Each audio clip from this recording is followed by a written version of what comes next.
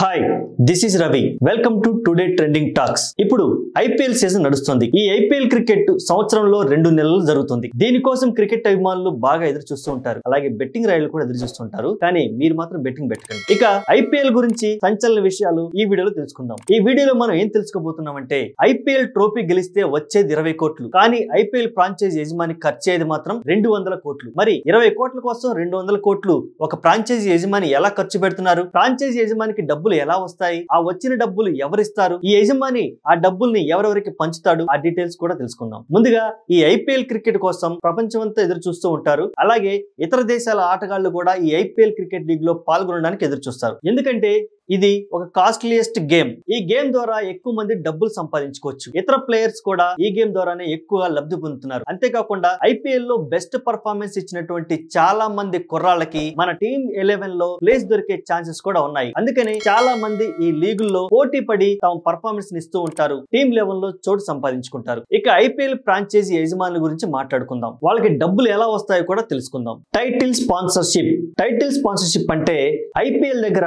టాటా అని వస్తుంది కదా? అది టాటా ఐపీఎల్. అంటే ఈసారి టాటా వాళ్ళు సమర్పిస్తున్నారు అనమాట దీన్ని టైటిల్ స్పాన్సర్షిప్ అంటారు. ఇందుకు గాను టాటా వాళ్ళు బీసీసీఐ కి మూడు వందల యాభై కోట్ల రూపాయలు చెల్లించారు. బీసీసీఐ ఈ డబ్బులోంచి సగం డబ్బులు తన దగ్గర పెట్టుకొని ఈ సగం డబ్బుల్ని ఫ్రాంచైజీ ఓనర్స్కి పంచుతుంది. అంటే నూట ఐదు కోట్లు బీసీసీఐ తీసుకొని మిగిలిన నూట ఐదు కోట్లు ఇతర ఫ్రాంచైజీ ఓనర్స్కి పంచుతుంది. ఈ విధంగా టైటిల్ స్పాన్సర్షిప్ రూపంలో డబ్బులు వస్తాయి ఫ్రాంచైజీ యజమానికి. అండ్ నెక్స్ట్ వచ్చేసి మ్యాచ్ స్పాన్సర్షిప్. చాలా కంపెనీలు మ్యాచ్ స్పాన్సర్షిప్ని ఇస్తా ఉంటాయి. ఇందులో కూడా సగం డబ్బులు బీసీసీఐ తీసుకొని మిగిలిన సగం డబ్బుల్ని టీమ్ ఓనర్లకి ఇచ్చేస్తుంది. అండ్ నెక్స్ట్ వన్ వచ్చేసి బ్రాడ్కాస్టింగ్ రైట్స్. బ్రాడ్కాస్టింగ్ రైట్స్ అనేవి గతంలో చాలా తక్కువ ఉండేవి. కానీ ఇప్పుడు మాత్రం చాలా ఎక్కువగా ఉన్నాయి. ఇప్పుడు ఈ బ్రాడ్కాస్టింగ్ మొత్తం జియోని ప్రసారం చేస్తుంది. ఈ బ్రాడ్కాస్టింగ్ రైట్స్ రెండు వేల ఎనిమిది నుంచి రెండు వేల పదిహేడు వరకు ఎనిమిది వందల ఇరవై ఐదు కోట్లు ఉండేది. కానీ ప్రస్తుత రెండు వేల ఇరవై నాలుగు సీజన్లో ఏకంగా ఇరవై నాలుగు వేల కోట్లకి వెళ్ళిపోయింది ఇది మొత్తం కూడా అంబానీ కంపెనీ అటువంటి జియో స్పాన్సర్షిప్ భరిస్తుంది.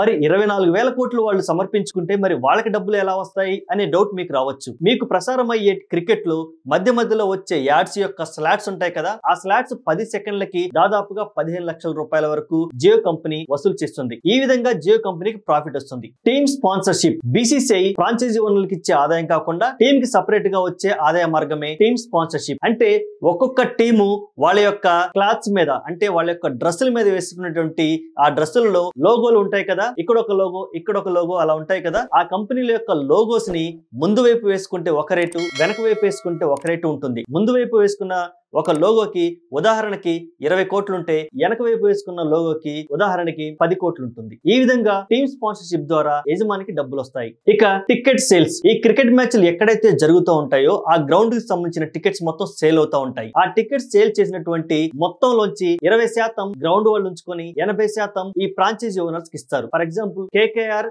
and CSK match జరిగితే టికెట్ సేల్స్ మొత్తంలోంచి ట్వంటీ పర్సెంట్ గ్రౌండ్ వాళ్ళు తీసుకొని మిగిలిన ఎయిటీ పర్సెంట్ని కేకేఆర్ అండ్ సిఎస్కే కి పంచుతారు. అండ్ నెక్స్ట్ వన్ వచ్చేసి మర్చెండైజ్ అంటే ఇప్పుడు మీరు ఆర్సీబీ ఫ్యాన్ అనుకోండి గ్రౌండ్కి ఎలా వెళ్తారు?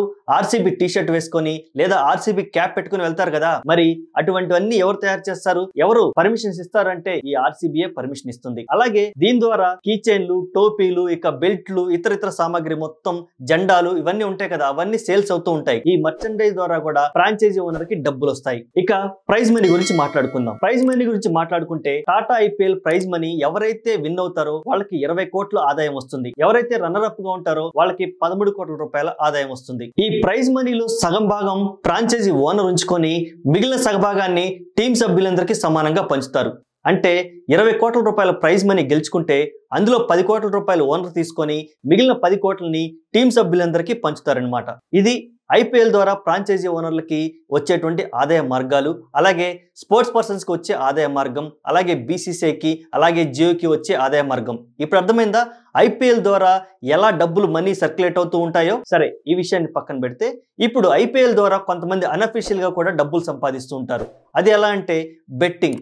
ఈ బెట్టింగ్ యాప్ల ద్వారా ఐపీఎల్లో బెట్టింగ్ పెట్టేసి డబ్బులు సంపాదించాలనే ప్లాన్ వేస్తారు. కానీ ఇక్కడ ఒక మ్యాజిక్ ఉంది. సంపాదించే వాళ్ళు ఒకళ్ళు ఇద్దరైతే దీంట్లో డబ్బులు పోగొట్టుకునే వాళ్ళు మాత్రం వేల మంది ఉన్నారు. కాబట్టి మీరు ఎట్టి పరిస్థితుల్లోనూ బెట్టింగ్ జోలు వెళ్ళకండి. వాటిని ప్రమోట్ చేయకండి. ఇదండి ఇవాళ వీడియో. ఈ వీడియో మీద మీ అభిప్రాయాన్ని కామెంట్ రూపంలో తెలియజేయండి. వీడియో నచ్చితే లైక్ చేయండి. Thanks for watching.